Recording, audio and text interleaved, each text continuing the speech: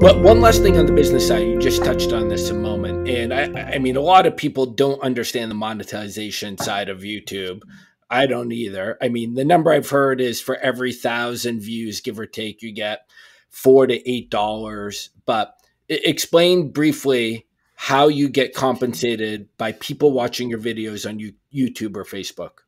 Yeah, so basically, when you watch one of my videos on on YouTube or Facebook, but we'll use YouTube for an example, there's a pre-roll ad, so you'll have a five or fifteen second ad that's you can't skip at the beginning of the video, and then there's mid ad breaks. So after 10 minutes, after 20 minutes, depending on how long the video is, you can add these mid ad breaks, which will be a 10 or 15 second ad for. And YouTube knows that YouTube is Google, and Google knows everything about you because they know what you search. So if you search for um, camera equipment, then you'll probably have an ad for a Sony camera. That's just how it works.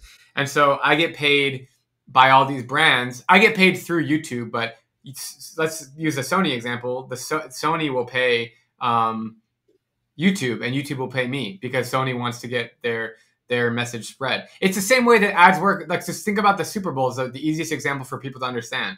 The Super Bowl gets viewed. The more viewers you get, the more money you make. So obviously, the Super Bowl gets. I don't. I have no idea I'm going to say 30 million viewers in the Super Bowl, maybe probably more. So obviously, you get paid a lot more because you have so many eyeballs on that content, and that's why it costs mm-hmm. like five million dollars minimum to make a Super Bowl commercial.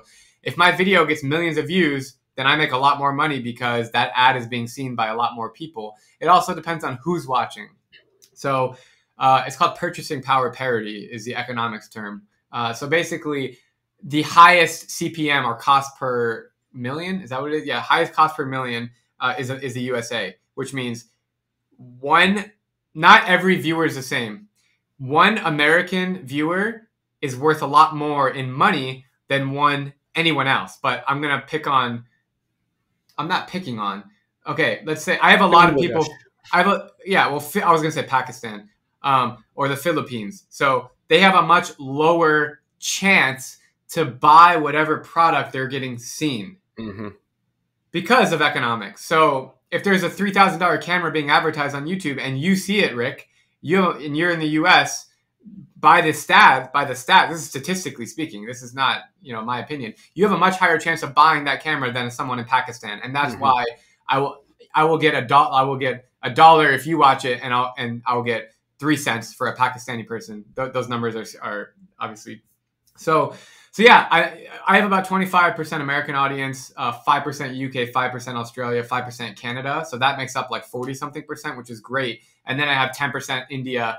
Uh, no, I have like 15% India, 10% Philippines, and then you know between Africa and South America and and Europe make up the rest, hmm. um, and Oceania. Um, so so yeah, so that's kind of how it works with the ads. Um, and I'm I'm more than happy to talk about numbers because everybody asks. So I make between twenty and eighty thousand dollars a month on YouTube. Eighty thousand being the highest month of 2021 was eighty thousand. The lowest month was twenty thousand, depending on how many views come in and who's watching.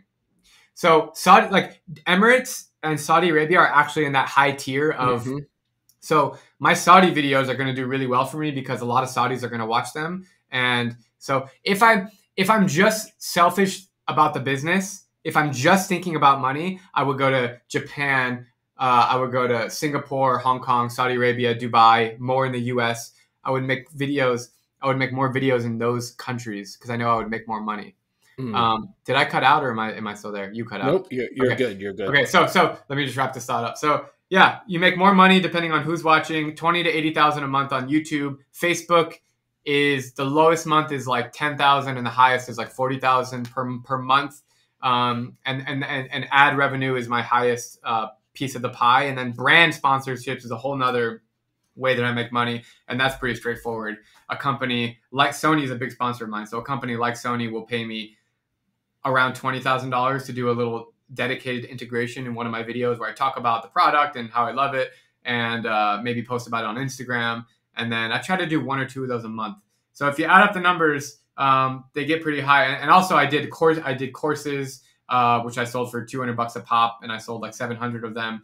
And then I have brand merchandise, and so and there's a lot of you know there's some speaking engagements here or there. Um, so there's a lot of ways to to make money, and this year was kind of a breakthrough year for me in terms of that. So Um, and also because I have a home and I have an office and I have mental space to to really focus on ha- and doing these conversations, I'm able to. When you travel all the time, it gets really hard, man, to to to to grow a business. I I, I can uh, concur with that. So yeah, I, I, mean that's awesome. Thanks for sharing and breaking down those numbers. Congratulations, more continued success.